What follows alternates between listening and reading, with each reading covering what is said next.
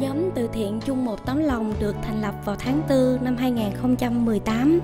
Lúc đầu, nhóm có tên là Khát vọng sống, nhưng thời gian gần đây, nhóm đã đổi tên lại là chung một tấm lòng. Qua thời gian gần 2 năm hoạt động, nhờ vào lòng tin của các nhà hảo tâm, nhóm đã giúp đỡ nhiều hoàn cảnh khó khăn trong tỉnh Đồng Tháp cũng như ở các tỉnh lân cận và từ đó những gia đình ấy đã vượt qua khó khăn trong cuộc sống nhờ vào số tiền đóng góp của các mạnh thường quân mà anh Trần Minh Kha là người trực tiếp nhận số tiền quà của các mạnh thường quân đóng góp và cùng với nhóm đi trao tận tay cho những gia đình có hoàn cảnh khó khăn. Những số tiền đóng góp sẽ được công khai minh bạch, từng họ tên và số tiền. Nhóm sẽ quay rõ ràng cụ thể và đăng tải lên mạng xã hội cho mọi người cùng xem. Chính vì thế, nhóm đã tạo được lòng tin yêu của các nhà hảo tâm trong nước cũng như là nước ngoài và duy trì cho đến ngày hôm nay. Thay mặt các gia đình khó khăn, chúng tôi xin gửi lời cảm ơn chân thành đến các nhà hảo tâm đã giúp đỡ trong thời gian qua cũng như thời gian sắp tới. Ca dao có câu, một cây làm chẳng lên non, ba cây chụm lại nên hòn núi cao. Người góp công, kẻ giúp sức, dù một ít nhưng thiết nghĩ những tấm lòng ấy sẽ là một món quà to lớn cho những mảnh đời kém may mắn và bất hạnh hơn ta rất là nhiều lần. Hãy sẻ chia và nhân rộng cho nhóm chung một tấm lòng để nhóm có thể đến được những nơi mà nhóm cần đến. Xin chân thành cảm ơn quý vị, những người có chung một tấm lòng.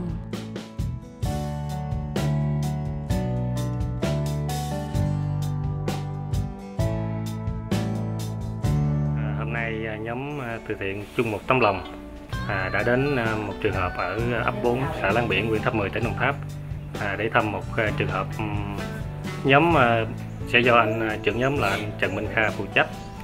À, sau đây xin mời quý vị cùng theo dõi. Thì hôm nay nhóm anh đến tìm hiểu hoàn cảnh của bé thì cũng là người biết con để, để chú nói chuyện chút xíu không? Để ngoại một kẹo anh thì anh ờ, đến tìm hiểu để ờ, biết cái ờ, hoàn cảnh về của bé. Thì em nói cho mọi người biết bé bị bệnh gì. Ừ, dạ bé bị khớp sọ dính hộp sọ khớp sọ dính hộp sọ? Dạ. Là sao ta? À, dị dạng sọ dị dạng hộp sọ dị dạng cái dạ. cái sọ đầu rồi dạ, à. sọ đó rồi ta mổ ta tạo hình hộp sọ mới cho bé. À, rồi bây giờ là, là là bé đi mổ rồi đúng không? Dạ. Đi mổ cái, cái gì đó ha. Dạ. rồi cái cái tiền mà ấy anh em chút xíu đi con rồi cái tiền mà chi phí mà để mổ ờ, của cái cái cái sọ của bé là tốn bao nhiêu tiền em? Dạ hết luôn là một trăm mấy anh nhưng mà à, hồi lúc mà ở trên mình thành phố á, thì mẹ em có làm đơn á, người ta có cho được ba chục. À. và còn như là tự mình là lo đóng rồi cái tiền đó đâu mà hai vợ chồng em mà có để lo cho dạ, bé? cũng chạy ra hỏi mượn bà con dùm họ à, rồi, làm từ từ trả lại. Rồi hiện tại giờ là mình có trả được chút nào chưa? Dạ chưa chưa vô làm được chưa có giống như lột sen rồi vậy bà có tiền mua sữa cho bé. À, rồi hai ông bà hai vợ chồng em có làm ruộng làm vườn gì không? Dạ không rồi hàng ngày em làm nghề gì mà để nuôi bé? Dạ tới mùa dùm lúa hay dùm lúa rồi hết mùa thì lột sen lột cục liền. À hoặc lột sen là ngày bao nhiêu tiền em? Dạ ngày khoảng hai ký ba ký có sen thì có hai chục ngàn ký à. Ừ, ngày cũng được vài chục. Dạ rồi cái bao lâu mới đi tái khám bé? Dạ một tháng em đi lần. Một một lần nhưng mình tốn bao nhiêu tiền? Dạ tốn khoảng 3 triệu. À ba triệu. Rồi chồng em sao?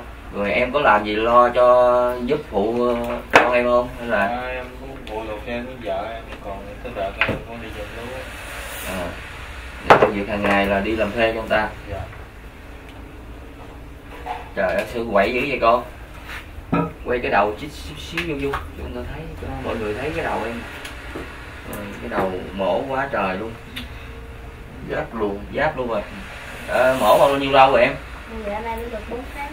4 tháng rồi vậy là mỗi tháng mình đi tới khám một lần. Dạ. một lần là tốn gần 3 ba triệu. À, cái ở đây là cái cái xã gì em? Dạ xã Láng Biển xã Láng Biển ấp mấy ấp 4 xã Láng Biển à bé này bao nhiêu tháng rồi? Ừ, dạ gần 20 tháng rồi. 20 tháng. Bé tên gì à dạ tên Bùi Văn Hoài Bảo. Bùi Văn Hoài Bảo. À, cũng uh, kính uh, xin mọi người uh, chúng ta giúp đỡ cho hoàn cảnh bé Hoài Bảo. À, bé bị dị dạng khớp sọ dính hộp sọ. Cái tiền mà chi phí mổ gần gần 100 triệu. Thì hiện tại gia đình bé rất là khổ là hai vợ chồng cũng không có làm nghề nghiệp gì cả. Là chỉ đi làm thuê dòng lúa lột hột sen thì mỗi tháng thì phải tốn tiền chi phí gần 3 triệu đi tới khám thì cũng ờ, cũng mong mọi người mà chúng ta giúp đỡ cho bé để có cái số tiền mà, à, để ờ, bé đi tới khám. Hoàn cảnh rất là khổ. Cầm vô. Thì không? im đi con ngoan nha ngoan nha. Cầm vô chờ giấy vậy. rồi bây giờ là nó có hành nhất bé không em dạ nó cũng bệnh hành bệnh về về từ mà mổ đỡ hơn lúc chưa mổ à. nó cũng còn bệnh lên gai vậy đó nắng ho sổ mũi vậy đó. rồi cái căn nhà này là hai vợ chồng ra riêng đó ha dạ. Bao lâu rồi? Dạ cũng lâu rồi. Ở nhà này ờ, cũng mới. Không á thì nó gấp hết rồi tại vì À. mới sửa lên nó Vậy dột là hết lúc trước nó tệ hơn bây giờ Dạ. là em mới sửa lại ha. Dạ trước nó gấp dột ngủ không được luôn á Ha. rồi che mũ rồi cái ấy rồi sửa. Rồi con im đi con. ngoan ngoan ngoan ngoan ngoan nhìn dọn nhà chú hiện tại là hoàn hoàn, hoàn cảnh của bé rất là khổ. Cái cha nó cũng đâu có làm nặng đâu cha cũng bị cắt té xe. À. rồi lắc hết lá lách rồi. Cha của bé dạ. bị bị té xe. Dạ. Rồi ờ, bị cắt bỏ lá lách. Dạ rồi bây giờ là cũng không có làm nặng được luôn đâu Dạ, không cho cắt lá lách chỗ nào đâu em. Đâu, dở lên ra cho em dở cho, mọi người thấy coi. À rồi Có cắt cái chỗ đó đó em? ha. Dạ. rồi bây giờ làm nặng cũng không được luôn. Dạ không. À. Đi giác lúa cũng không được mà mà chỉ mà nhẹ được.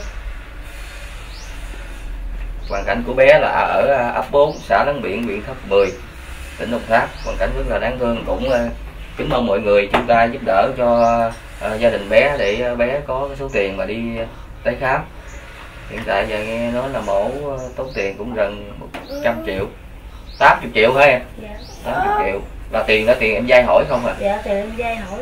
Vì bây giờ cũng chưa trả được ai hết. Dạ chưa tại vì em chưa có vô làm công ty được đó à, em chưa có trả được.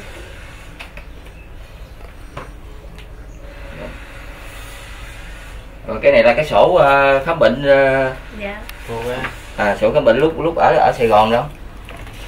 Đây nè cái này là ba cái giấy xuất viện hả? các bệnh nhân nói mổ á cái này. Giấy này là khi tới khám Còn đâu đâu cái giấy mà lúc mổ bé đâu em à, giấy này nè cái giấy à, điểm nằm ở bề sau á nè nó có nhận mổ kỹ thuật của bé đó ừ.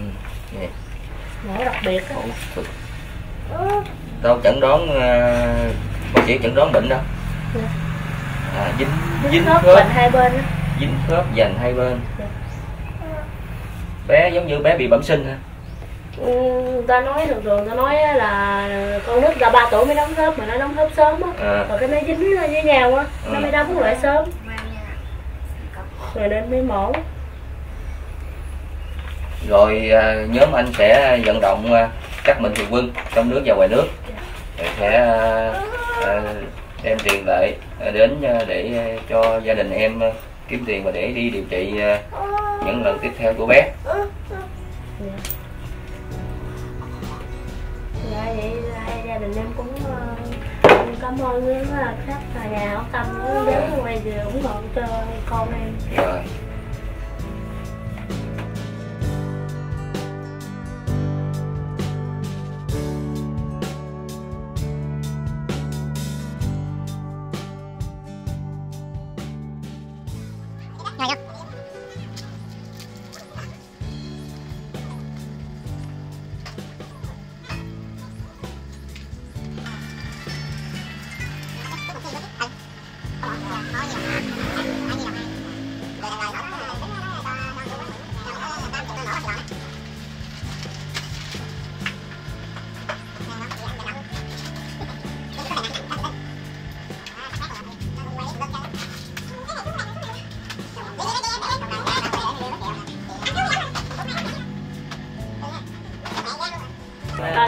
lên đây luôn đi anh. Ừ đúng rồi, xích lên cầu cạn lên bây giờ anh